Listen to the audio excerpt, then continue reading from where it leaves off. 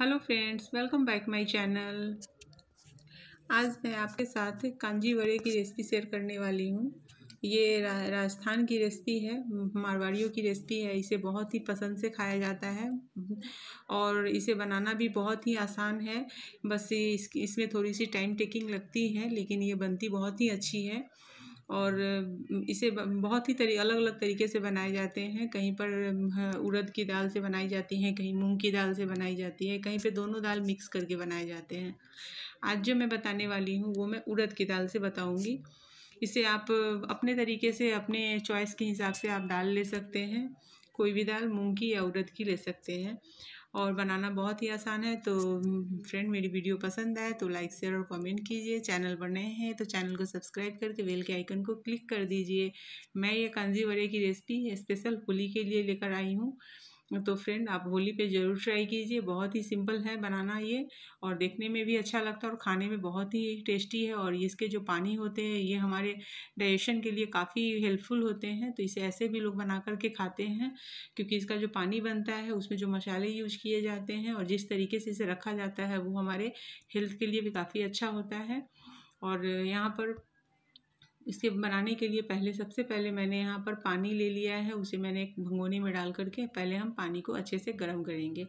पानी को गर्म क्या बॉयल करना है हमें और बॉयल करके हमें इसे साइड में रखना है ठंडे होने के लिए। तो यहाँ पे मैंने इसे चढ़ा दिया है, चलिए इसे हम गर्म होने देते हैं। और जब ये अच्छे से बॉयल हो जाएगी तो हमें इसे तो यहाँ पे ये बॉयल हो गई है तो हमें इसे अब साइड में रख देना है ठंडे होने के लिए। और उसके साथ में मैं एक पैन फिर मैं डाल रही हूँ, क्योंकि अब हमें मसाले रेडी करने हैं कांजी बड़े के कांजी के लिए। तो यहाँ पर मैंने एक चम्मच में ले ली ले रही हूँ मैं पीली वाली मस्टर्ड सीड और आधे चम्मच में लूँगी ब्लैक वाली, जिसे हम राई बोलते हैं। तो वो राई मैंने डाल दी है। अभी इसके साथ ही मैं दो लाल मिर्च में डालूँगी।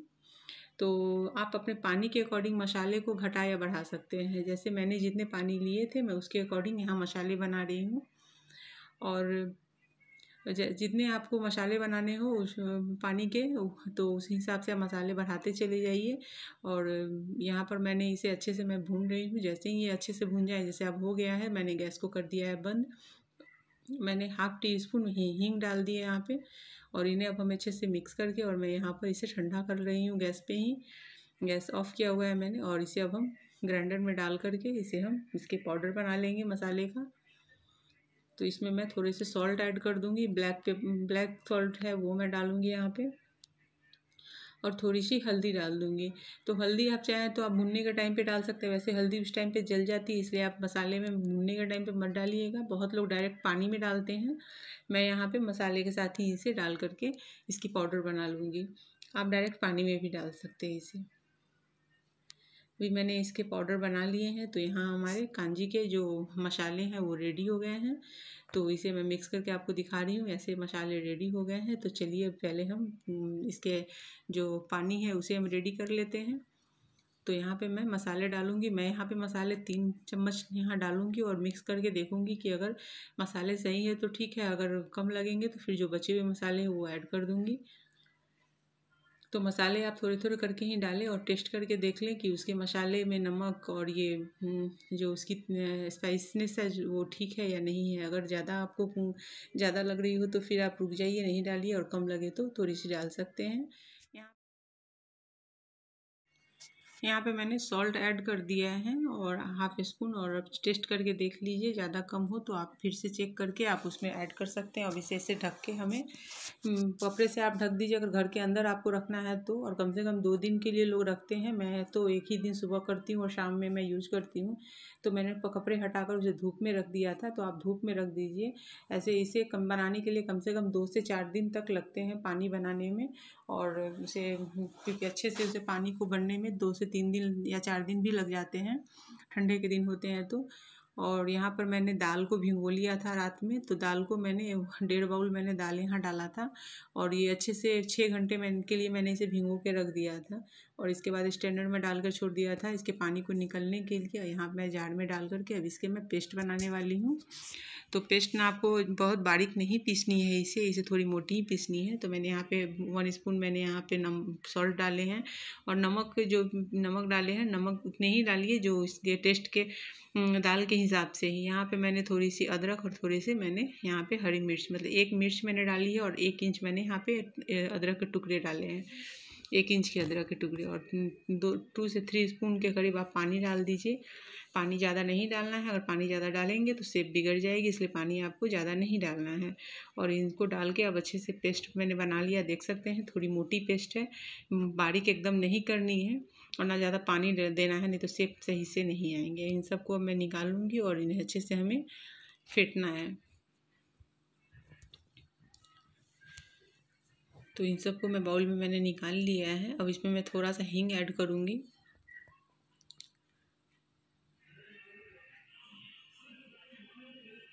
तो यहाँ पे मैंने हींग डाल दिया है और हींग को डालने के बाद अब आपको इसको अच्छे से करना है मिक्स, फेंटना है इसे इतना जिससे कि हम फ्लपी हो जाए और मतलब ये फूले अच्छे से। तो इसको फूलने के लिए आपको बहुत ही अच्छे से फेंटना है। जैसे बहुत लोग इसमें सोडा ऐड करते हैं इसे मतलब फ्लपी बनाने के लिए। तो मैं यहाँ पर बिना सोडे के ही आपको बताऊँगी और काफ़ी फ्लपी और काफ़ी अच्छे बनेंगे। जैसे कि स्टार्टिंग में मैंने आपको दिखाया भी है। तो काफ़ी अच्छे बनते हैं, लेकिन आपको थोड़ी सी हाथों को मेहनत करवानी होती है। लेकिन ये बहुत ही अच्छे हाथों से अगर आप फेंटे तो इसके स्वाद बहुत ही अच्छे होते हैं एकदम देख सकते हैं, जितने थे दाल एकदम से फूल जाते हैं। वो जैसे ही जैसे आप फेंटेंगे ना, वैसे वैसे फूल जाएगी फ्लफी होगी तो फूल फूल करके मतलब जितने थे उसके, उससे ज़्यादा आपको दिखने लगेंगे। तो यहाँ पर मैं उसे अच्छे से फेंट रही हूँ। और पानी अगर आपको हाथ आपकी नहीं चल रही हो तो आप हल्का सा पानी का छीटा दे सकते हैं। अगर हाथ चल रही हो दाल के साथ में तो फिर आप पानी नहीं दीजिए। तो तब अगर पानी देंगे तो दाल आपकी गीली हो जाएगी। तो यहाँ पे आप देख सकते हैं कि ये दाल जो है वो अच्छे से हो चुकी है, फिट फिट चुकी है।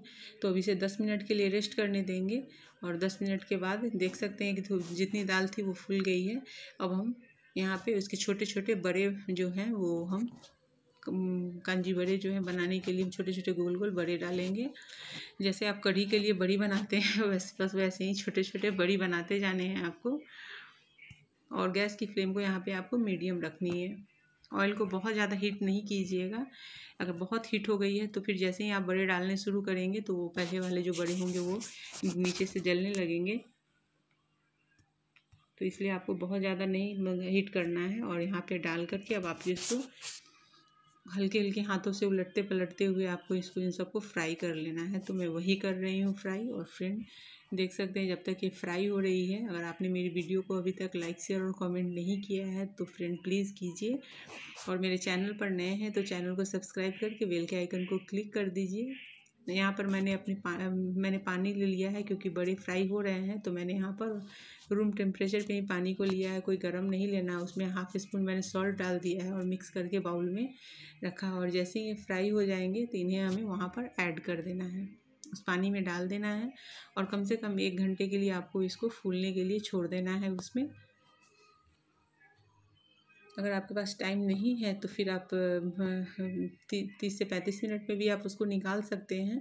लेकिन अगर आपके पास समय हो तो आप एक घंटे के लिए आराम से उस सादे पानी में उसे आपको छोड़ देना है, जिससे कि ये उसमें जा कर के जो पानी, ये बड़े जो है वो पानी एब्जॉर्ब करेंगे तो ये काफ़ी सॉफ्ट बनेंगे ये। तो यहाँ पे आप देख सकते हैं ये, मैं इन्हें निकाल लेती हूँ और डायरेक्टली हम इसे पानी में डाल देंगे। तो यहाँ पे मैंने इसे डाल दिया है पानी में और इसे अच्छे से मिक्स करके, छोड़ दीजिए इसे ढक करके। तो मैंने यहाँ पे इसे डाल दिया है। अभी आप देख सकते हैं नीचे है और जब हम बाद में देखेंगे तो ये देखिए कैसे फूल गई है। कलर भी चेंज हो गए हैं इसके। क्योंकि जो ऑयल में हमने फ्राई किया था ऑयल भी इसके निकल चुके हैं और काफ़ी फ्लपी हो गए हैं ये। तो चलिए अब हम कांजी बड़े बनाने शुरू करते हैं। तो यहाँ पर मैं अपने हाथों से थोड़ा थोड़ा दबा करके इसके पानी निकाल लूँगी। ज़्यादा कस के मत दबाइएगा, नहीं तो टूट जाएगी वो। और इस तरह से हल्के हल्के हाथों से दबा करके इसके जो पानी है एक्स्ट्रा उसे आपको बाहर निकाल लेना है। और ऐसे आप बड़े बना करके आप फ्रिज में रख सकते हैं और चार से पाँच दिन तक आप आराम से इस बड़े को यूज़ कर सकते हैं, कांजी बड़े में भी और दही बड़े भी आप इसके बना सकते हैं। अगर इस तरीके से आपने बना के रख लिया है तो आप दही के साथ दही बड़े भी बना सकते हैं और कांजी कांजी के साथ में आप इसे कांजी बड़े बना सकते हैं।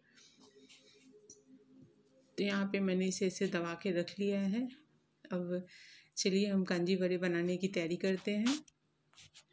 तो यहाँ पे मैंने एक बाउल ले लिया है। अब हम इस बाउल में जो मैंने पानी धूप में रखा था सुबह में तो मैंने पानी को सुबह ही बना करके छोड़ दिया था। अभी अब शाम में इसे अब हम यूज़ करेंगे।